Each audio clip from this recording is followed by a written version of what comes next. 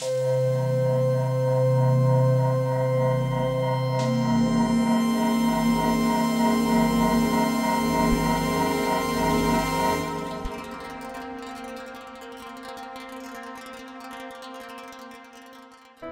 is a polyphonic granular sampler that processes pre-recorded audio material in the form of synchronous and asynchronous granular synthesis. While there are many great devices that include a lot of additional features besides the typical granular synthesis functions and often have a graphical user interface, this device is deliberately kept very simple and works mainly with the basic parameters that are relevant for granular synthesis.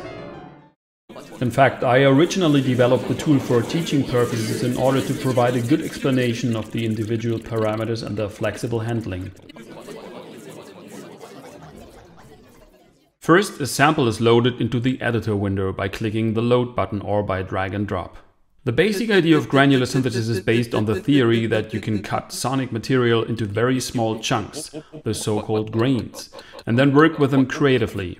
In this case, a very short sound fragment is triggered again and again with a regular frequency so that a kind of loop of the sound snippet results. The length of the loop can theoretically be very short so that the original pitch of the sound is no longer perceivable as such, but a different pitch results which is determined rather by the loop speed. By inserting different window types that wrap around the single loop with an envelope, the occurrence of the noise due to discontinuities at the start and end points of the loop can be avoided. Eight different window types can be selected for windowing that shapes individual envelopes for the generated grains. Furthermore, the loops can also overlap, so that above a certain trigger speed the loop sounds have the effect of smearing. Tools that operate granular synthesis theoretically have very precise access to the individual fragments of the sound so that these can now be controlled, changed and, in particular, provided with random values in very different ways. In this device, this can be achieved with a deviate knob, which allows certain deviations from the basic value depending on the amount. The basic pitch value is initially determined by pressing a MIDI note. The middle C plays the sample and its grain at the original pitch. If several notes are played one after the other, which can result in polyphonic structures such as chords as with a sampler, each loop first starts in its cycle so that interesting variations can result even at a slow tempo, that means with a low trigger frequency. If all loops should have the same starting point, this can be achieved simply by clicking on the sync button. While the device actually follows the principle of synchronous granular synthesis, where the grains are generated with a regular trigger frequency, there are two variations in the settings to make the process asynchronous or quasi-synchronous.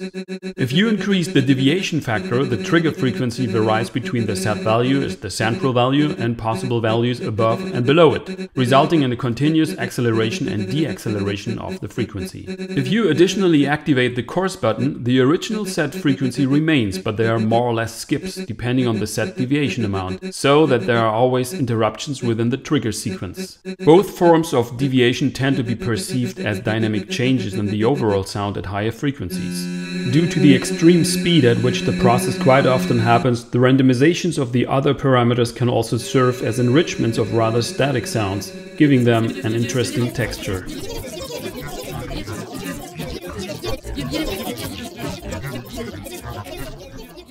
The dynamic course of the notes can be additionally shaped by a simple envelope with an attack and a release parameter. The hold button has the function of a sustain pedal so that the notes continue to play even after the keys are released. When saving the Ableton Live session, it is important that the location of the sample that was last in the device is also added once in the so-called file preferences of Max, if the parent folder is not already part of the search path anyway so that the file can be found again immediately by the device when it is opened again. If a new folder is added to the file preferences, it will be only recognized when the Max application is quit. Therefore, if a new search path is created, it is recommended to save your Ableton Live project only after this procedure to make sure that the edited sample remains in the project.